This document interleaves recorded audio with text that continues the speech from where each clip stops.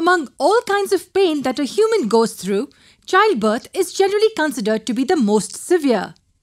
Yes, the pain that a female goes through is unbearable.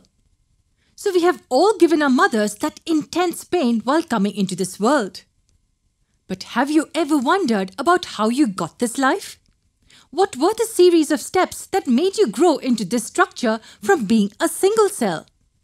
Let's have a look at this most important process that helped us gain life. Yes, I am referring to the process of fertilization.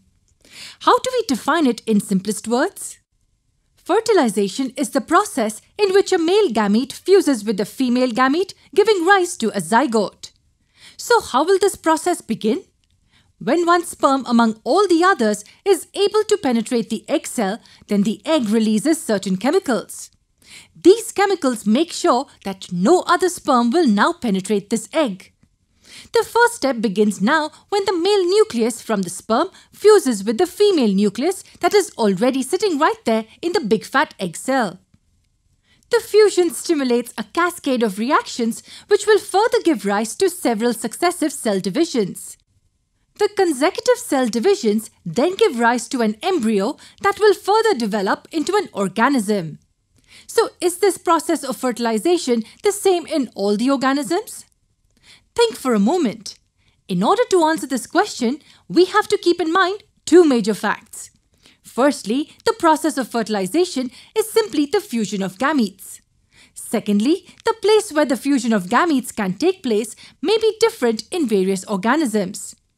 So now can we answer the question correctly? Yes. The simplest answer is that the process of fertilization will almost be the same. This is because it involves the fusion of gametes. However, the location where the fertilization occurs may be different in animals. For example, in humans, the baby grows inside the mother's body. However, have you seen babies of frogs?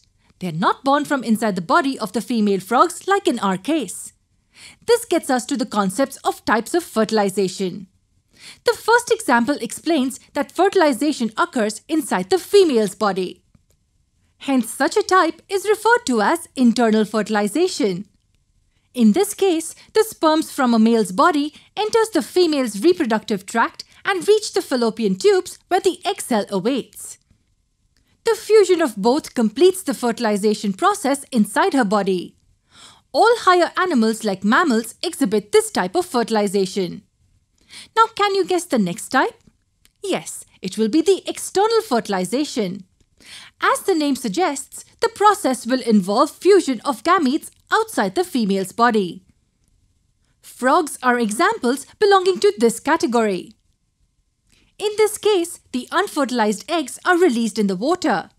Now the sperms from the male body will be released on these eggs and will fertilize them. As a result, the fertilization process will be accomplished in the water outside the female's body. Many aquatic animals, including fish, exhibit this type of fertilization. This is how fertilization takes place in animals. Now the most important thing we need to know is how the embryo develops. Do watch our next video to know this important process.